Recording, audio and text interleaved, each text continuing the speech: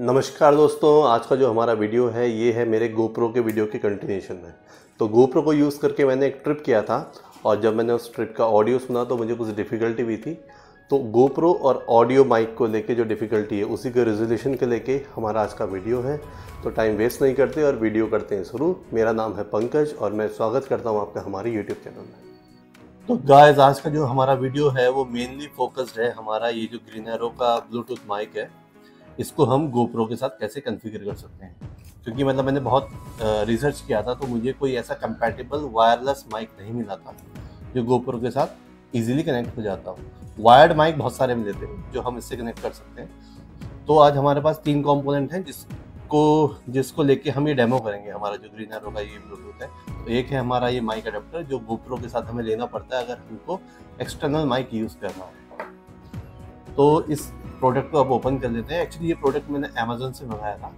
तो इस प्रोडक्ट का लिंक मैं आपको अपने इसी व्लॉग के डिस्क्रिप्शन में दे दूँगा। तो इसको एक बार ओपन करते हैं। इस प्रोडक्ट में आता क्या है हमारे पास? ये बेसिकली तीन कंपोनेंट हैं। दो माइक हैं। वन टू और एक है रिसीवर और इसके अलावा एक ही मैनुअल आता है। मतलब बहुत इजीली आप इसको कॉन्फ़िगर कर लोगे, आपको शायद इसको गो थ्रू करने की ज़रूरत ना पड़े बट स्टिल आपके पास है इनकेस ये अनक्लियर है आपको। और इसके अलावा ये एक केबल आती है हमारे पास। ये है टाइप सी केबल आती है, जिसके दो आउटलेट है।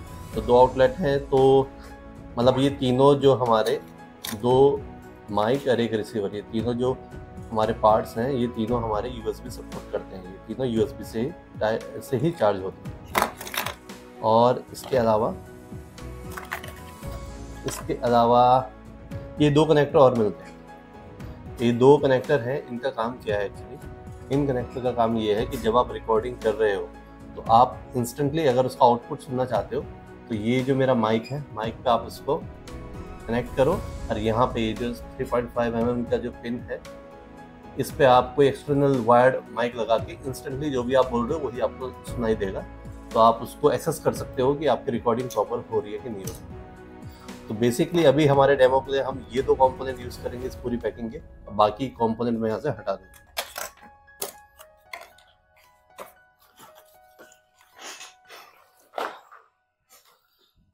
तो मेनली ये सब चीज़ें हैं जो अब हम ट्राई करने वाले हैं इस डेमो को कंप्लीट करने के लिए। ठीक है?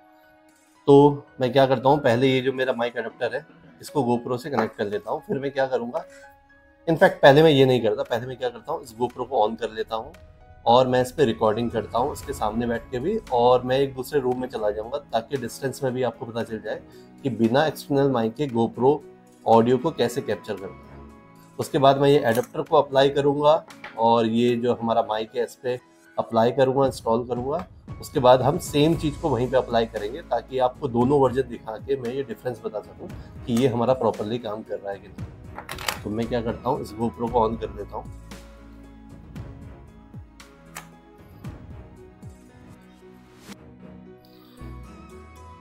तो गोप्रो को हमने कर दिया है ऑन और अब मैं क्या कर रहा हूँ, इस गोप्रो को रिकॉर्डिंग में ऑन कर वीडियो मोड ही ऑन है, मैं इसको कर देता हूँ ऑन तो अब जो भी मैं बात कर रहा हूँ, वो हमारे इस प्राइमरी वीडियो में तो रिकॉर्ड हो भी रहा है, साथ ही साथ हमारे इस गोप्रो में भी रिकॉर्ड हो रहा है। तो अब मैं क्या करता हूँ, थोड़ा डिस्टेंस पे जाता हूँ और तब हम देखते हैं कि गोप्रो हमारा कैसे वॉइस क्वालिटी को कैप्चर करता है। तो अब मैं चला गया हूँ, थोड़े डिस्टेंस पे चला गया हूँ, दूसरे रूम पे चला गया हूँ आई एम नॉट श्योर कि मेरी ये आवाज़ गोप्रो पे रिकॉर्ड हो रही है कि नहीं हो रही है। और इतना आई थिंक सफिशियंट है। अब मैं वापस आ जाता हूँ। वापस आ गया हूँ अपनी सीट पे और ये करीब 37 सेकंड का वीडियो बनाया गोप्रो का तो इसको यहीं पे एंड कर देते हैं। तो ये था हमारा वर्जन वन जो मैंने कि, बिना किसी एक्सटर्नल माइक को यूज़ किए गोप्रो में रिकॉर्डिंग की है। गोप्रो के सामने बैठ के और थोड़े डिस्टेंस में जाने के बाद भी। अब मैं क्या करता हूँ इसको करता हूँ ये जो माइक अडेप्टर है इसको अप्लाई करता हूँ गोप्रो में। और इस माइक अडेप्टर पे ये जो मैंने ये ग्रीनैरो का जो माइक मंगाया है, इसके रिसीवर को इंस्टॉल कर दूँगा इसको करना कैसे है? ये गोप्रो का जो बैटरी वाला बॉक्स है, इसको खोल देते हैं।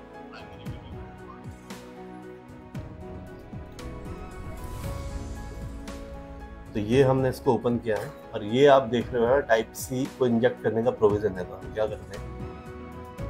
इस एडाप्टर को मैं यहाँ पे कर देता हूँ अप्लाई एडाप्टर को मैंने गोप्रो में कर दिया है सेट और ये एडाप्टर पे प्रोविज़न है कि हम 3.5 पॉइंट mm का जो पिन है, उसको इंजेक्ट कर सकते हैं. और ये पिन हमारे पास आया है, जो इस रिसीवर पे है. मैं इसको तो पहले हम इसको ऑन कर लेते हैं। ये देखिए आप यहाँ है ना पावर का बटन है। मैं इसको प्रेस करता हूँ तो लाइट ब्लिंक करने लग गई है। मतलब ये पावर तो इसको मिल गया है पावर मिल गया है बट स्टिल ये जो किसी माइक को सर्च कर रहा है पेयर करने तो अभी मैं इसको यहाँ पे कर देता हूँ इंजेक्ट इसको थोड़ा कस के आप पुश करेंगे, तब ये प्रॉपरली इंसर्ट हो जाएगा। और अभी आप देख रहे हो जैसे कि ये ब्लिंक कर रहा है मतलब ये डिमांड कर रहा है कि कोई माइक जो इससे पेयर हो सके। अब ये हमारा माइक है, मैं इसके पावर बटन को ऑन करता हूँ। ये देखिए, पीछे ये पावर बटन इसको मैंने प्रेस किया लॉन्ग प्रेस किया, ये ऑन हो गया। ये देखो अब अब यहाँ पे ग्रीन लाइट जल गई है और इसने ब्लिंक करना कर दिया मतलब अब ये पेयर हो चुका है। तो अब मैं क्या करता हूँ, इस माइक को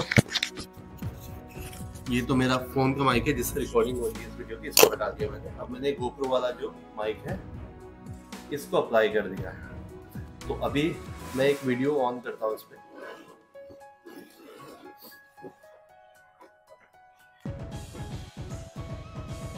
अब वीडियो हो गया है इस पर स्टार्ट और अभी मैंने माइक अप्लाई कर रखा है, और मैं बैठा भी माइक अपने गोप्रो कैमरा के जस्ट नेक्स्ट सामने बैठा हुआ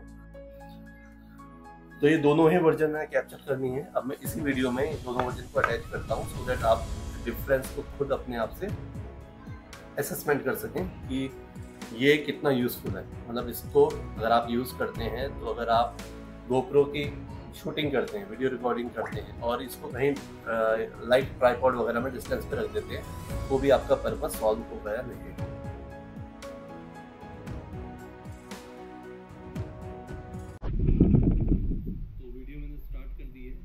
मैं क्या करता हूँ कि मैं दूसरे रूम पे जाता हूँ और ये वेरीफाई करेंगे कि इसकी वॉइस क्वालिटी थोड़ी डिग्रेड होती है कि नहीं होती है। तो मैं बोलता रहता हूँ अभी अभी मैं चला गया हूँ डिस्टेंस पे। थोड़े डिस्टेंस पे चला गया हूँ मैं अभी। करीब मैं दूसरे रूम पे चला गया हूँ। आई एम नॉट श्योर कि वॉइस रिकॉर्ड हो रही है कि नहीं हो रही है। अब मैं वापस आ जाता हूँ। सो so दैट आपको एटलीस्ट ये पता चल सके कि मैं डिस्टेंस पे गया डिस्टेंस के बाद वापस आ गया हूँ अपने डेस्क पे। तो इसकी वॉइस क्वालिटी में जो डिफरेंसेस आएँगे, वो आपको पता चलेगा अब वीडियो हो गया है इस पर स्टार्ट और अभी मैंने माइक अप्लाई कर रखा है और मैं बैठा भी माइक अपने गोप्रो कैमरा के जस्ट नेक्स्ट सामने बैठा हुआ हूँ। तो मैं क्या करता हूँ अगेन सेम डिस्टेंस पे जाता हूँ और कुछ बोलता रहता हूँ ताकि आपको ये आइडिया लग जाए कि मेरी वॉइस क्वालिटी डिस्टेंस के साथ कम हो रही है या ज़्यादा हो रही है या ये स्टेबल है? तो मैं अभी उतने डिस्टेंस पे हूँ मतलब दूसरे रूम पे चला गया हूँ और अब मैं वापस आता हूँ, अपने डेस्क पे आता हूँ। तो अब मैं वापस अपने डेस्क पे आ गया हूँ। तो सेम डिस्टेंस मैंने कवर किया है बिना इस डिवाइस के और डिवाइस अप्लाई करने के बाद भी। और इसके अलावा मैं बता देता हूँ, इसमें ये जो बटन जो पावर बटन मैंने आपको दिखाया था ऑन करने के लिए होता है। तो इसमें नॉइस कैंसिलेशन का फीचर है, वो भी आप इसी से अप्लाई कर सकते हो है एक्चुअली मैंने इस सेम फीचर के लिए एक सेपरेट वीडियो बना रखा है। तो वो मैं आप, उसका लिंक भी इसी वीडियो में अटैच कर दूँगा। अगर आपको नॉइस कैंसिलेशन वाले फीचर को एक्सप्लोर करना है तो उस वीडियो का आप गो करेंगे। उस वीडियो में मैं क्या गया हूँ? वीडियो में मैं एक ग्राउंड में गया हूँ और ग्राउंड पे काफ़ी डिस्टेंस पे जहाँ पे ट्रैफ़िक था ट्रैफ़िक के सराउंडिंग पे मैं रहा और मैंने इसको प्रिपेयर किया।